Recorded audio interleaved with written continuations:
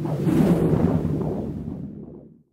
Hi there, my name's David Mitchell, head teacher here at Dunoon Grammar School. And last week we informed you that we had been selected to take part in World Education Week for the second year in a row. Some a great achievement for our school and our local community. However, we, we have some more exciting news to share with you this week, um, and that is that we have been announced as Scotland's first school to become a digital schoolhouse. A great achievement, um, the initiative sponsored by Sony and Nintendo. So you'll probably see us playing some Wii's, etc. throughout the next year.